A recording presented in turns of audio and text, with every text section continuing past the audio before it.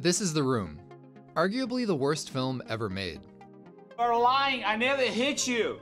You are tearing me apart, Lisa! Thousands of people have willingly paid money to watch this, often many times, which begs the question why?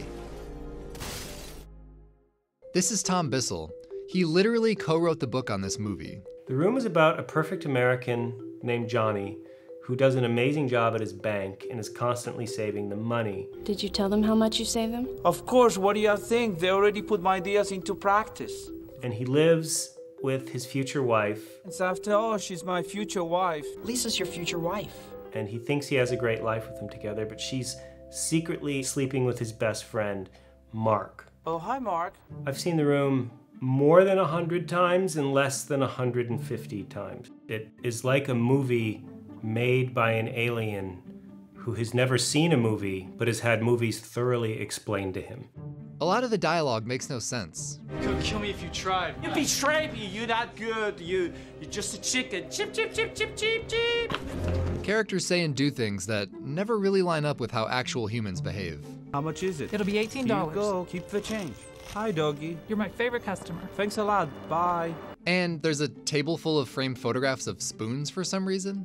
There's not often that a work of film has every creative decision that's made in it on a moment by moment basis seemingly be the wrong one. It's a famously incoherent piece of American cinema that's established a rabid cult following, a celebrity fan base. I've had Tommy Wiseau up here. Tell Yeah. me everything. I remember I saw it with Jonah Hill actually randomly, and then, and like we became obsessed with them. And there are still sold out monthly midnight screenings in countries across the globe, even 14 years after its release. Why is a movie that's so incoherent and so critically panned still so popular? The Room falls into a category that some call para cinema, which comprises all forms of cinema outside of the mainstream, including art film, horror, Elvis flicks, government hygiene films, pornography, and beach party musicals. So basically, all of the good stuff.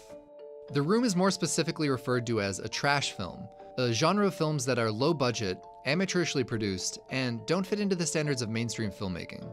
It may seem like only people with bad taste would like movies that are literally categorized as trash, but studies show that a taste for trash cinema might actually indicate higher levels of intelligence.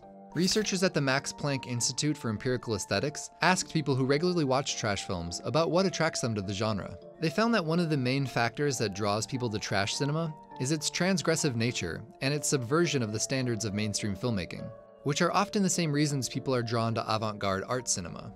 If you look on Amazon, the movies that people bought in addition to The Room is a solid mix between trash classics like Birdemic and Troll 2, and art house films like The Holy Mountain and Dancer in the Dark. One of the other reasons that people are drawn to trash cinema is an ironic viewing stance, which is also called camp. Susan Sontag once wrote that camp asserts that good taste is not simply good taste, that there exists indeed a good taste of bad taste. Ironic enjoyment of bad entertainment can be a powerful social tool that can strengthen bonds between people. Just look at Rebecca Black's viral sensation, Friday.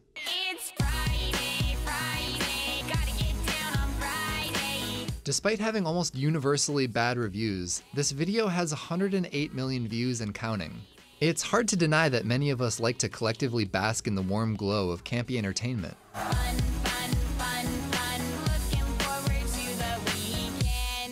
Fans of cult films like The Room are no different.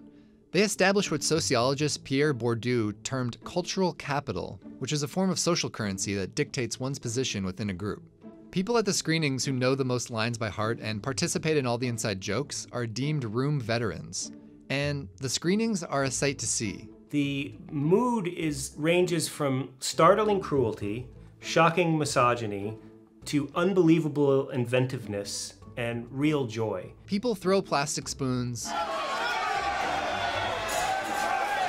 wear costumes, and yell call and response lines at the screen. The fan interaction is similar to other cult classics like Rocky Horror Picture Show. The Room, to me, shatters the distinction between good and bad. Do I think it's a good movie? No. Do I think it's a strong movie that moves me on the level that art usually moves me? Absolutely not. but I can't say it's bad because it's so watchable. It's so fun. It's brought me so much joy. How can something that's bad do those things for me? Everyone says, oh, you have to go and see it for the first time with a live audience. And I say, are you crazy? You absolutely do not see it for the first time in a live audience because you can't hear a single goddamn line because everyone shouts and sings and screams over the entire movie. You don't have any idea what's going on in a, in a theater when you see it for the first time. You have to see it at home, preferably alone first, or with a very close loved one that you can hold afterwards for reassurance.